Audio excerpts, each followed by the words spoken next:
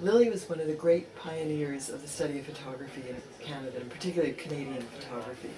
She, I remember her first coming to teach as a sessional at Carleton University, where I teach, and uh, being described to me before I'd ever met her by a close colleague as someone who was doing something entirely new. It's now become a major field in art history and a major area of uh, um, creativity and study, but she was one of the people who put that on the map. The other uh, huge contribution that I would want to point to is her vision in founding the Portrait Gallery of Canada.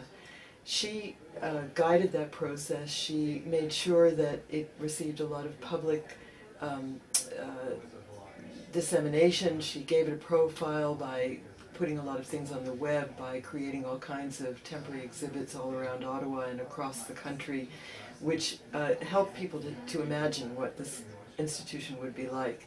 And in the days when uh, it was came under increasing attack as a project, she continued to uh, support it, to extreme in an extremely imaginative way, uh, help the public to see why we need this institution. And I can't imagine another person who would have done it as effectively as she has. I'm a specialist in Aboriginal art history, and Lilly invited me to guest curate the uh, first sort of, well, to guest curate the Aboriginal component of the portrait gallery. I'd never really thought about the subject of portraiture in another culture before. Certainly other people have worked on that, but for me it was something to think about freshly.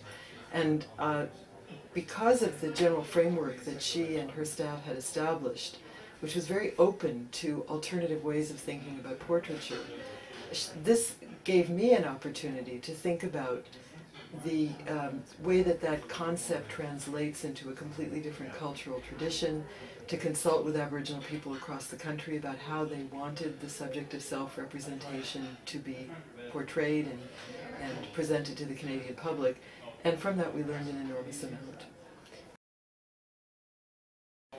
I think of her extraordinary enthusiasm, her intelligence, and perhaps more than ever, considering the battles that she had to fight, her grit and her uh, persistence and her energy in not giving up on an idea that she believed in.